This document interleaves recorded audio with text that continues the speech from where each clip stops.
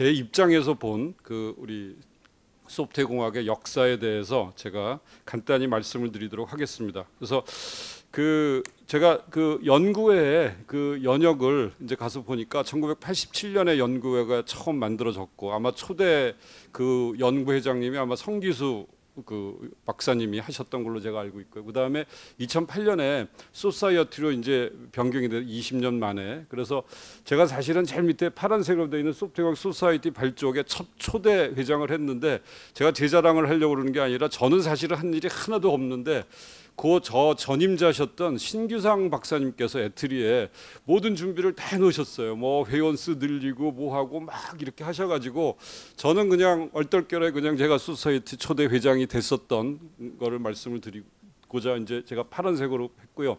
제가 이제 어떤 얘기를 해야 되나 그러고 했는데 제가 아마 95년에 카이스트에 부임해서 96년부터 아마 2008년 그 전까지 그때 뭐 굉장히 활발한 활동이 많이 있었던 것 같아요. 저희 연구회에서 소프트공학 연구회에서 그래서 그 내용 위주로 말씀을 아마 드리고 마치도록 하겠습니다. 그래서 제가 이제 제목을 패러다임의 이볼루 아, 진화라는 말씀을 드렸고 그래서 제가 생각하는 뭐 여기 저 저기 훌륭한 선배 교수님들 많이 계셔서 제가 감히 있는 얘기를 할 수 있는지 모르겠지만 하여간 제가 생각한 패러다임이라는 게 SE 패러다임 뭔가를 보면 패러다임이라는 정의는 뭐 저렇게 되어 있더라고요. 사전적 정의는 동일한 특성을 공유하는 entity 범주다라고 되어 있는데 보통 통상 소프트웨어 공학 쪽에서는 사실은 패러다임을 라이프 사이클 모델, 프로세스 모델들을 아마 얘기를 많이 하는 것 같아요. 그런데 이제 이런 패러다임이 프로세스라는 측면 외에도 사실은 제가 이렇게 쭉 겪어 보니까 중요한 그 테크놀로지죠. 요소 중에 하나가 소프트웨어 시스템을 이루는 가장 기본적인 구성 요소가 뭔가 저는 그걸 이제 거기 building block이라는 얘기를 했는데요. building block이라는 용어를 쓴 거는 뭐 재사용하고도 관련이 되기도 하고 이 테크놀로지 측면에서 building block이 뭔가가 굉장히 영향을 많이 미치는 것 같아요. 그래서 제가 해석한 패러다임은 그 앞에 밑에 있는 삼각형에 이제 소프트웨어 개발의 3대 요소라고 얘기하는 프로세스 테크놀로지 resource 이 세 개 중에 프로세스와 테크놀로지를 합쳐서 저는 패러다임이라고 해석을 하고 아마 주로 테크놀로지의 이 building block 위주 그다음에 프로세스 측면에서 어떻게 우리 그, 그 당시에 이제 95년부터 한 10여 년 동안 어떤 일이 있었는지를 제 경험을 그 위주로 말씀을 드리겠습니다. 그래서 제가 생각하는 우선 이제 building block을 보시면 이거는 뭐 다뭐 뭐 특별한 내용은 없습니다. 그래서 이제 procedure라는 어떤 building block이 있었다가 그 다음에 이제 객체라는 게 생기고 거의 동시에 이제 component가 또 생기고 그 다음에는 이제 이 서비스라는 개념이 들어왔고 저 생각이지만 물론 지금은 이제 앞으로는 그런 building block이 또 하나의 중요한 building block이 소프트 시스템 자체 가 되는 것 같습니다. 그 얘기는 뭐냐면 앞으로의 시스템들은 많은 기존에 있는 시스템들이 통합이 돼서 뭔가 새로운 goal을 달성해야 되는 그런 시스템, 시대가 된 것 같고요. 그래서 제가 노란색으로 표시해 놓은 object와 component 관련되는 얘기를 제가 아는 기억나는 한도 내에서 말씀을 드리도록 주로 하겠습니다. 자, 제가 95년에 이제 그 부임을 해서 보니까 제가 이제 객체지향을 전공을 했어요. 이제 박사 과정에 그랬는데 한국에 왔더니 객체지향이 난리가 났더라고요. 그래서 그 아마 기억하시는 분들 일부 계시겠지만 그 당시에 우리가 보통 객체지향의 three amigo라고 부르던 분이 바로 이 세 분입니다. Grady Grady Booch 그다음에 Ivar Jacobson, James Rumbaugh 이 세 사람이 오 95년부터 96년 거의 1년 사이에 한국을 다 다녀갔어요. 난리가 났었습니다, 한국에. 그래서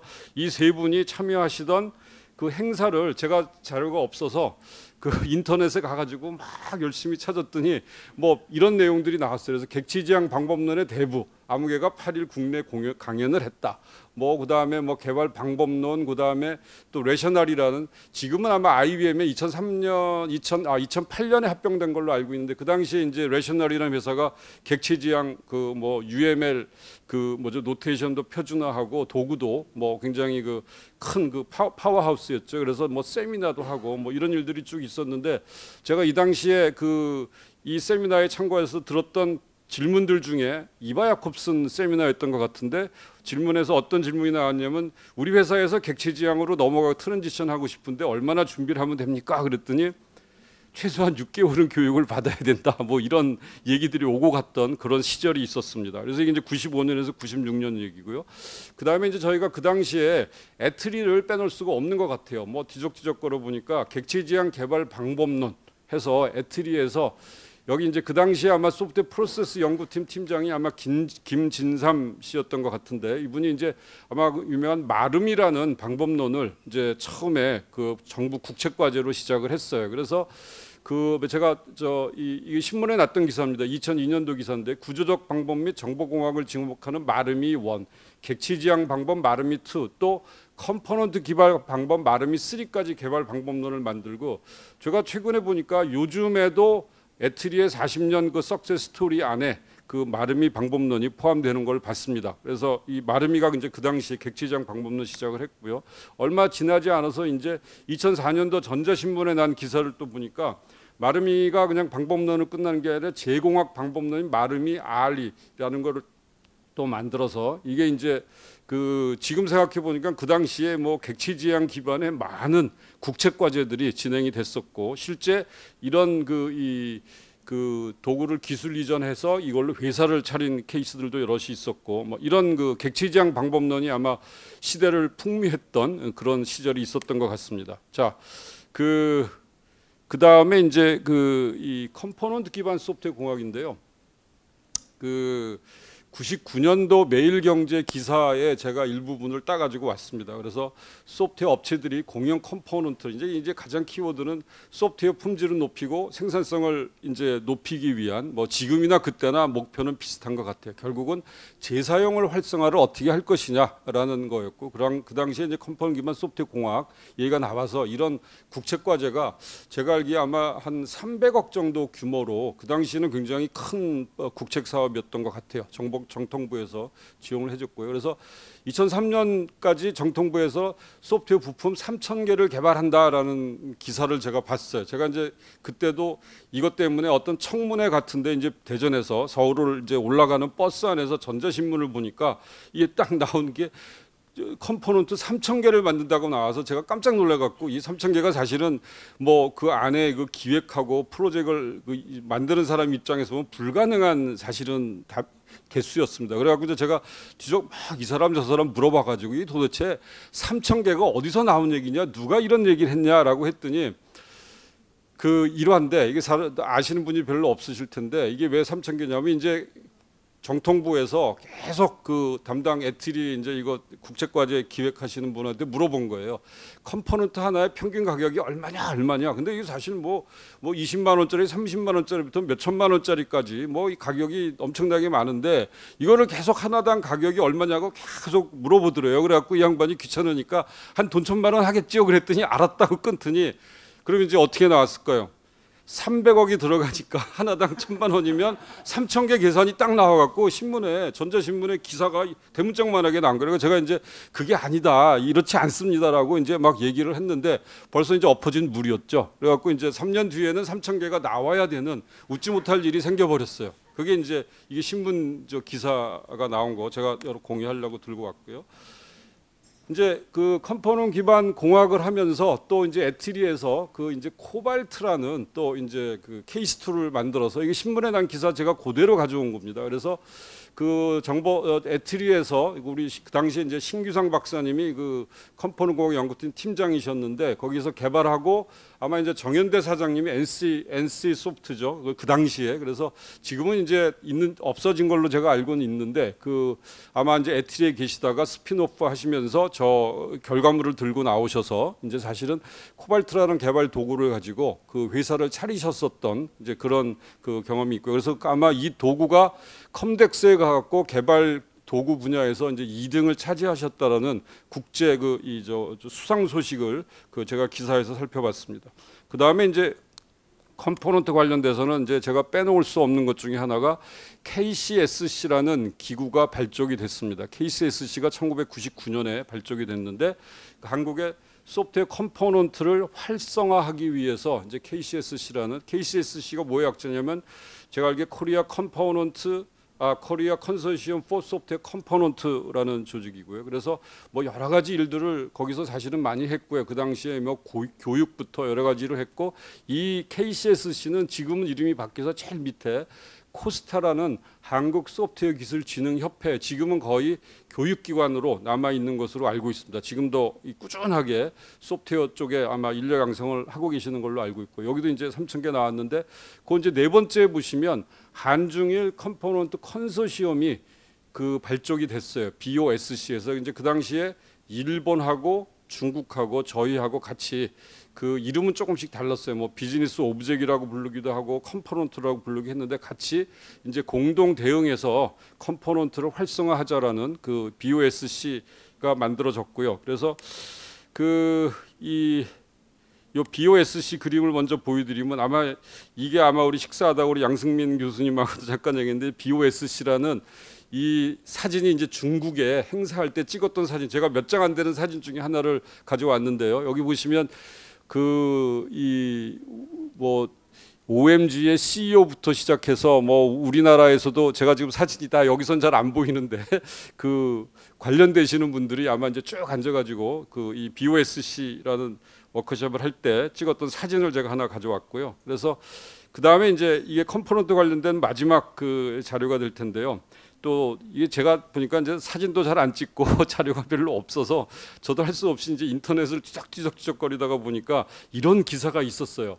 정자 정보 통신 학계를 움직이는 사람들에서 요번에는 이제 component 관련된 그래서 그 제가 그냥 거기에 관련되셨던 교수님들 이름만 쭉 여기 이제 가지고 왔는데 조그만 글씨로 해놓은 건 너무 이제 좀 조금 좀 민망한 뭐 그 자랑 막 너무 자랑을 많이 한 얘기들이 많아서 줄여버리고 이름만 보면 우선 우리 뭐 대원로 교수님이신 이경환 교수님부터 시작해서 백두건 고대 백두건 교수님 그 다음에 또 숭실대 김수동 교수님 전 숭실대 김수동 교수님 저보다 하나 아래인 줄 알았더니 양승민 교수님 들었더니 벌써 저보다 빨리 은퇴를 하셨다네 이게 잘못된 것 같습니다. 그 다음에 이제 숭실대 또 이남영 교수님이 계셨고요. 그 다음에 건국대 김 아, 민덕기 교수님, 서강대 박수영 교수님, 호서대 양 혜술 교수님, 그 다음에 이제 최성원 교수, 한혁수 교수, 김행원 교수, 최병주 교수, 여기 아까 김정하 교수님도 아까 계신 김정하 교수님, 최한석 교수님 등등 많은 분들이 아마 여기에 같이 참여를 하셨었던 그 신문에 난 기사를 제가 가져왔습니다. 그 말씀을 드렸고요. 그 다음에 이제 그 아까 제가 이제 패러다임에서 이제 두 가지를 하나는 테크놀로지해서 제가 객체하고 component를 거의 뭉뚱그려서 같이 말씀을 드렸고 저 개인적으로는 사실은 뭐 굉장히 그 우리나라의 객체 그 뭐죠? 객체 지향 테크놀로지가 활성화된데 굉장히 그 굉장히 큰 그 이 득을 본 사람이라고 생각을 하는데 뭐 제가 이제 뭐 객체지향 전공을 하다가 보니까 아마 KAIST에서 객체지향 한 사람을 막 찾다가 이제 제가 이제 어떻게 발탁이 돼서 정말 운이 좋게 저는 이제 한국에 오게 된거 라고 생각을 하고요. 와서 이제 그 객체하고 component 말씀을 드렸고 그 다음에 저희가 그 당시에 또 빼놓을 수 없는 그 것 중에 하나가 사실은 프로세스 관련 얘기를 하지 않을 수가 없는 것 같아요. 무슨 방법론도 뭐 결국은 테크놀로지하고 프로세스의 어떤 그 어떤 융합이라고 볼 수 있지만 프로세스 개선 또 평가에 대해서 말씀을 드리지 않을 수 없는데 그 신문에 기사에 뭐 이거 말고도 뭐 굉장히 많이 있어요. 그 당시에. 그래서 2000년대 초에 프로세스 개선이 굉장히 활성화되는데 여러 가지 계기가 있, 었는데요. 이 저 계기 중에 하나는 사실은 그 이 프로세스가 그 국내에 있는 몇몇 기업들이 해외에 수출을 할 소프트웨어를 만들어서 또는 부품을 만들어 수출을 하려고 시도를 하고 있었는데 그 당시에 미국에서 CMM 레벨 3 이상이 되지 않으면 사실은 PI로 프로젝트를 수주를 못하는 그런 시절이었어요. 그러다가 보니까 국내에 이름만 대면 아는 굴지의 회사들이 사실은 수주를 하려고 했다가 수주를 하지 못하는 그런 일들이 막 생기던 시절이었습니다. 그러다 보니까 이제 프로세스 인증에 대해서 또 아마 여기 아마 이단형 교수님이 아마 소프트웨어 진흥원 원장님 계시던 시절이었던 걸로 제가 기억을 하는데 뭐 또뭐 뭐 이단형 교수님이 또 워낙 또 이 저 이 이 프로세스 쪽에 또 이 CMU에서 하고 있는 SEI 쪽에 그 저 많이 알고 계시니까 아마 프로세스 인증을 굉장히 드라이브 하셨던 걸로 제가 알고 있고요. 그래서 여기 이제 몇 가지 대표되는 기사들을 그 뽑아 갖고 왔어요. 제일은행이 이제 2002년 얘기인데 CMM 레벨 2를 인증을 획득했다라는 기사인데 사실은 저도 이제 제가 뒤에 얘기하겠지만 솔루션 링크라는 회사를 창업을 하고 초창기에 이, 이 프로세스 개선의 컨설팅을 되게 많이 하는데 쫓아다녔던 그런 사람인데 제일은행 같은 경우가 제가 알기에는 국내에서 한 CMM 그 인증을 해서 가장 득을 많이 본 성공 사례로 굉장히 많이 그 화자가 되는 그런 그 저 기관이었습니다. 그래서 이후로도 많은 기관들이 프로세스 개선을 하려면 항상 제1은행에 가갖고 한번 이렇게 얘기를 견학을 하는 그런 이 성지순례처럼 됐었던 그런 기관인데 2002년에 시작해서 레벨 2 인증을 받았다. 그다음에 이제 이네트라는 데는 이제 CMM 말고 그 당시에도 SPICE라는 또이 이 표준화가 있었습니다. 이건 유럽 쪽에서 시작이 된 거죠. 그래서 아 이네트라는 기업이 아마 2002년에 레벨 2 인증을 받았고 뭐 이거 외에도 뭐 굉장히 많습니다. 그런데 또 같은 해에 보면은 CMM 인증 획득의 실효성이 논란이 된다라는 기사도 있어요. 그래서 제가 가급적 이제 객관적으로 얘기를 하고자 이게 항상 success story만 있었던 건 아니고 이제 여러 가지 이유가 있는데요.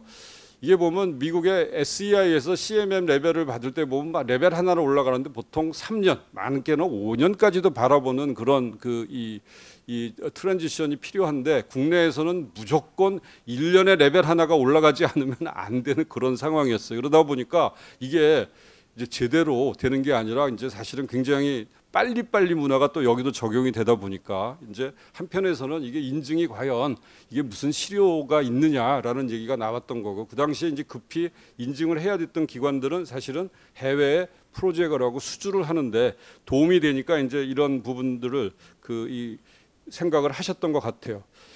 그 다음에 이제 결국은 이게 아, 나중에 이제 아마 제가 알기에 핸디 소프트가 아닌가 싶은데 레벨 5 인증을 2005년에 제일 빨리 받았고 그 다음에 이게 나중에 이제 NIPA의 SP 인증으로 인증으로 발전이 된 것 같습니다. 그 다음에 제가 아까 잠깐 말씀드렸던 솔루션 링크 얘기를 제가 이제 이건 뭐 어떻게 이걸 제가 얘기를 할까 말까 되게 고민했던 부분인데 카이스트에서 그 솔루션 링크 외에도 사실은 우리 저 우리 배현섭 박사가 시작한 슈어소프트 그 다음에 또 이제 우리 저 뭐죠 그 이 포멀 웍스 같은 그런 그 software engineering으로 창업한 기업들이 많은데 이제 요거는 이제 제가 창업하는 회사라서 이제 사실은 가져왔는데 99년 12월에 시작을 했고요. 제가 이제 관심 없다라는 얘기를 했는데 이제 또 그거 설명 관심이 없다는요. 한 2년쯤 전에 여기 오신다 그랬는데 아직 안 오신 것 같은데 그 이해서 대표라는 분이 그 당시에 이제 계셨어요. 그러니까 저 제가 95년에 처음 와가지고 아무것도 없던 시절에 제가 왜 아무것도 없었냐면 제가 오던 해 고베 지진이 나가지고 제가 오던 컨테이너가 6개월 동안 제가 못 받았어요. 그 거기에 책이고 짐이고 온갖 게 다 들었는데 하나도 없어가지고 맨날 빈 저 사무실에 앉아가지고 강의 준비하고 했었던 그 시절에 아무것도 없는데 이해 서 대표가 오셔서 저한테 도구를 다 공짜로 다 지원을 해주셨어요. 객체지향 모델링하는 도구를. 그래서 이제 그분이 오셔가지고 저보고 회사를 차리면 자기가 뭐 많이 이제 도와주겠다 그래요. 처음엔 제가 아 이롭다 무슨 교수가 회사를 하느냐 그러고 이제 그랬는데 IMF가 시작이 되고 학교의 규정까지 바꿔갖고 이제 막 창업을 프로모션하는 그 시절이다 보니까 이제 솔루션 링크를 창업을 하게 됐는데 그때 제가 그 여기 아직 안 오신다고 그러고 비행기 때문에 못 오시는 것 같은데 이제 지금 대표하는 우리 민상윤 박사 또 우리 김용호 부사장 앉혀놓고 우리는 절대 소프트웨어 만들지 말자. 제가 보기에 지금은 뭐 그때보다 나아졌을 거예요. 소프트웨어 만들어가 돈벌 길이 안 보이더라고요. 그래서 이제 만들지 말자라고 했는데 뭐 결과적으로는 지금 아마 도구를 만들어 갖고 비즈니스를 하는 것 같은데 제가 시간을 너무 많이 쓰고 있죠. 예. 그 그 다음에 이제 Asia Pacific Software Engineering Conference 관련돼서 그 아마 여기 아마 권용래 교수님이 93년도에 제가 알기에 아마 시, 시, 주도를 하셔갖고 만드신 거고요. 그래서 이제 쭉 역사를 보면 아마 이제 96년에 저희가 APSEC 그 다음에 2004년에 11회 APSEC을 했고 아마 내년에 아마 고인영 교수님이 제너럴 체어가 되셔서 한국에서 다시 앱색을 하는 아마 역사가 깊은 국제 학술 대회입니다. 이게 앱색 96년도 자료가 제가 없어서 보니까 그 이런 그 이 커미티하고 그다음에 그 이광 아저 그 강교철 교수님 여기 계신 강교철 교수님이 프로그램 체어하시면서 그 메시지 있어서 제가 슬쩍 그 저 발췌해 갖고 왔고 앱색 2004년에는 이제 이광 교수님이 제너럴 체어를 하셨고 부산에서 이제 진행이 됐었습니다. 제가 그때 제가 아마 프로그램 코체어를 했던 것 같고요.